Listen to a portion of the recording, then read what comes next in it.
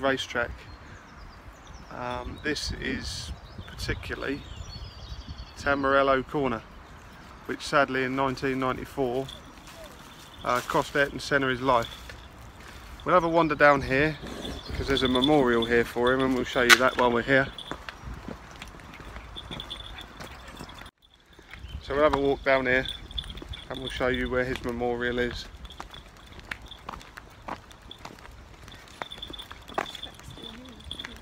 The track is still used today, I think they do track days.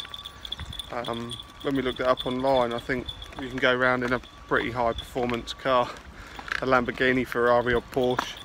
It's not open for the general public, as nice as that would have been to have driven the van round. We did in Monaco with the old van but that's not possible here. I think since since the accident happened, I think they changed the, layout of that corner into a chicane layout.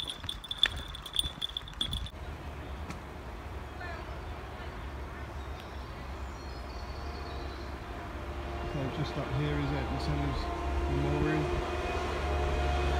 Where unfortunately he lost his life in 1994. Sweeping the track.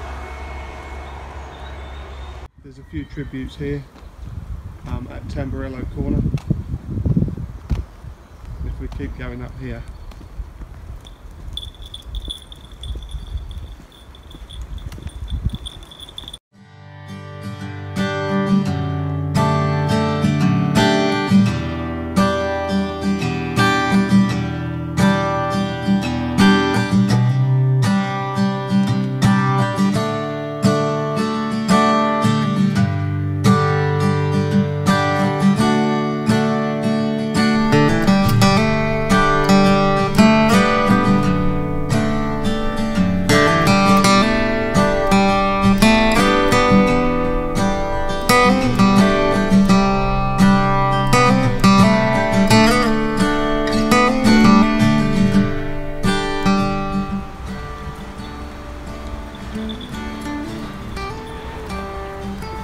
His memorial.